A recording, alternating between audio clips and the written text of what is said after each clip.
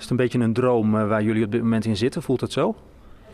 Ja, ik denk dat je het wel zo kan noemen, ja. Durf jij te zeggen Nederland wordt Europees kampioen? Ja. Ja. Nederland wordt Europees kampioen.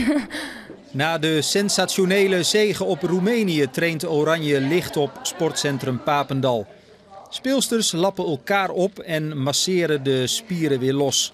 Ze beseffen steeds meer dat er deze week iets bijzonders gebeurt in het handbal. Denk ik wel. Het is natuurlijk, we hebben nog nooit een uh, groot toernooi in Nederland gespeeld. Dus uh, voor iedereen is dit nieuw. En als je dan zo'n teamprestatie neer kunt zetten, ja, dat is natuurlijk gewoon geweldig. Ja, dus iets heel bijzonders aan de hand in Nederland. Ik denk dat wij uh, iedereen heb, ja, hoe zeg je dat, verbaasd, hebben verbaasd met ons spel. En, zo goed we staan als team en we zijn zo goed bezig. En dat willen we nu ook wel afmaken. De ploeg draait uh, hartstikke goed. Ze, ze, spelen vanaf de eerste wedstrijd uh, eigenlijk steeds beter. Met de wedstrijd van gisteravond tegen Roemenië als uh, ja, misschien wel beste wedstrijd tot nu toe. In sporthal Valkenhuizen in Arnhem zag het publiek weer prachtige acties met zo af en toe de overtreffende trap.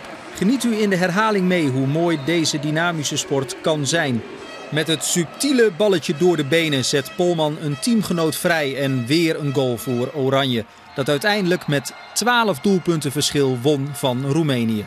Maar je ziet dat het gewoon leeft in Arnhem. En dat heeft deels te maken met het feit, denk ik toch, dat wij het afgelopen jaar met de Handbalacademie de competitie hier hebben gespeeld. Uh, waardoor toch wat mensen ja, belangstelling gingen tonen. En toch heel, uh, heel geïnteresseerd zijn hoe de meiden het er nu van afbrengen. Nou ja, het leuke is, ik kom zelf uit Arnhem. En dan, dan, dan zie je dat een aantal jaren dat handbal toch een beetje wat weggezakt is. Uh, ook in aantallen. En dan is het leuk dat zo'n toernooi hier plaatsvindt. En met name met, met onze ploeg in Arnhem. Met Estefan natuurlijk als, als exponent. En dat de mensen het oppakken. Vanavond speelt Oranje nog in Arnhem tegen Spanje. Vrijdag is in Rotterdam de halve finale. De tegenstander is nog onbekend.